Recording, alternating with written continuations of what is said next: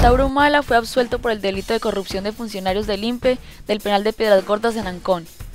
Tras la sentencia solicitó indemnización por daños y perjuicios y que el fiscal pida disculpas públicas. La alianza entre los dirigentes de los partidos Tierra y Libertad y Movimiento de Afirmación Social, liderados por Marco Arán y Gregorio Santos respectivamente, decidieron distanciarse después de tener aspiraciones diferentes en relaciones a las próximas elecciones. Los médicos del Ministerio de Salud iniciaron la huelga indefinida y dejarán de atender a miles de pacientes que acudan a alguno de los 147 hospitales a cargo del MINSA en todo el país.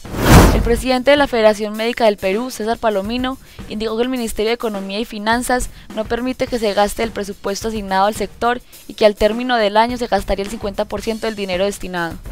El candidato republicano Mitt Romney aparece en videos afirmando que los votantes que apoyan a Barack Obama son personas que no pagan impuestos, que no asumen responsabilidades y que piensan que el gobierno debe hacerse cargo de ellos.